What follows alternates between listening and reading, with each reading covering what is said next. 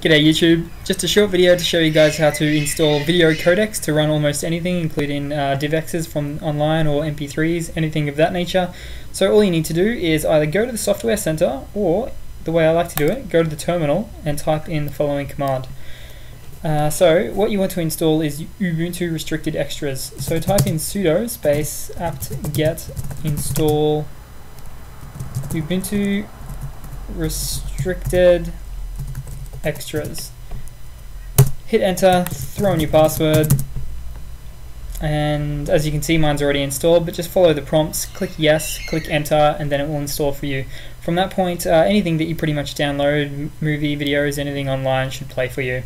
Uh, your video player of choice might be the Totem video player or VLC but either way it should all work for you from this point. Alright cheers guys, thanks for your time, please leave a comment and subscribe if you can. Cheers, thanks, bye.